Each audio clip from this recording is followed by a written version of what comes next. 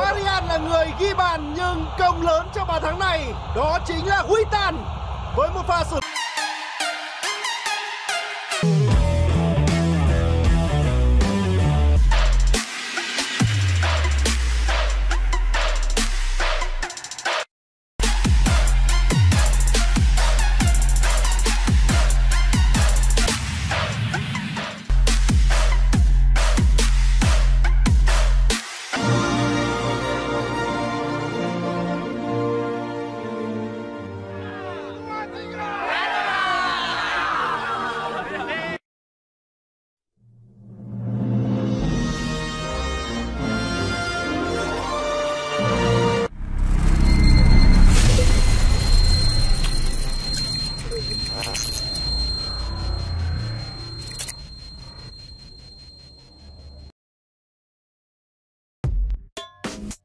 Filipina vs Indonesia, skuad Garuda unggul 2-0 sementara. Indonesia menutup babak pertama dengan keunggulan 2-0 atas Filipina. Gol-gol Indonesia diciptakan oleh Dendi Sulistiawan dan Marcelino Ferdinand. Duel Filipina vs Indonesia di laga terakhir grup A Piala AFF 2022 digelar di Stadion Rizal Memorial, Senin, tanggal 2 Januari tahun 2023, malam WIB. Pertandingan ini menentukan langkah Indonesia ke semifinal. Indonesia menyerang dari sisi kanan di menit-menit awal pertandingan. Sadil Ramdhani melepaskan tembakan dari sudut sempit, tapi ditepis oleh kiper Filipina. Filipina juga tak kalah ngotot meski sudah dipastikan tersingkir, tekanan Filipina menghasilkan sepak pojok. Dari situasi itu, bola yang ditinju Nadeo Argawinata jatuh ke kaki Stefan Skrok yang ada di luar kotak penalti, dia kemudian melepaskan tembakan dan ditepis oleh Nadeo.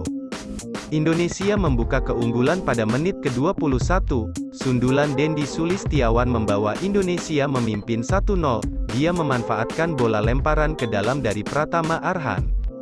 Tak lama setelah gol, Indonesia harus melakukan pergantian pemain dengan menarik keluar Nadeo Argawinata, kiper Bali United itu tak bisa melanjutkan pertandingan usai berbenturan dengan pemain lawan. Indonesia mendapat peluang untuk menggandakan keunggulan pada menit ke-37, Dendi menerima bola sodoran dari Asnawi tapi tembakan kaki kirinya melambung di atas gawang. Tak lama kemudian, giliran Farudin yang memperoleh peluang, dia mencoba melepaskan tendangan voli dengan kaki kanan, tapi belum tepat sasaran. Indonesia menggandakan keunggulan pada menit ke-43, Marcelino Ferdinand melakukan kerjasama 1-2 dengan Sadil dan melepaskan tembakan untuk membobol gawang Filipina. Susunan pemain Filipina, Anthony Pintus, Simen Alexander, Jefferson Tabinas, Amani Santos, Audi Bantas Menzi, Hikaru De Asis Minegisi, Stefan Skrok, Oliver Bias, Ken Siro Daniels, Mark Hartman Indonesia, Nadeo Argawinata, Syahrul Trisna 22, Rizky Rido, Fahrudin Arianto, Asnawi Mangkualam, Pratama Arhan, Marcelino Ferdinand, Mark Klok, Ricky Kambuaya, Witan Sulaiman, Sadil Ramdhani, Dendi Sulistiawan.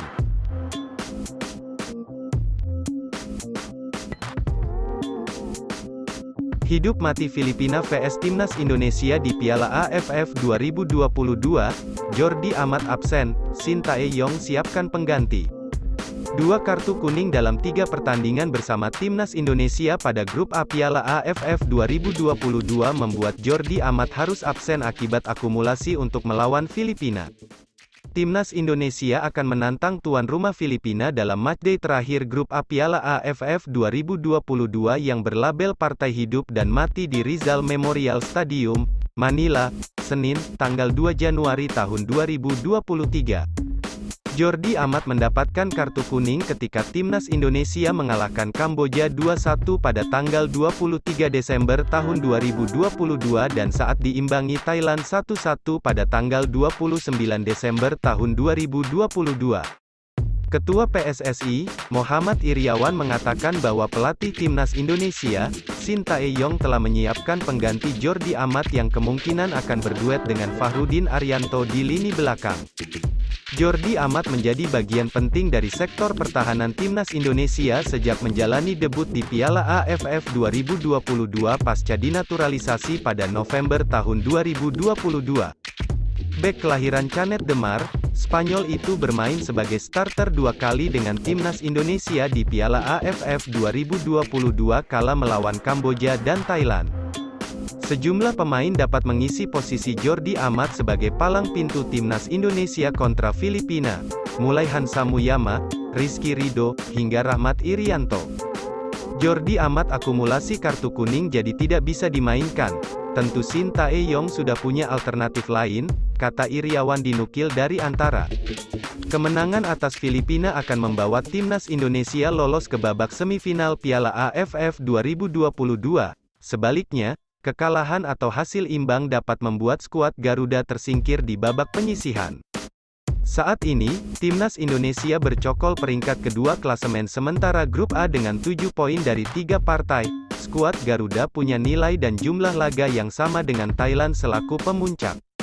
Regulasi selisih gol yang mengatur pemeringkatan di babak penyisihan bikin timnas Indonesia terpaksa berada di bawah Thailand. Timnas Indonesia perlu hati-hati dengan ancaman Kamboja di peringkat ketiga yang mencatatkan 6 poin dari tiga pertandingan alias hanya berselisih satu angka dari posisi pertama dan kedua.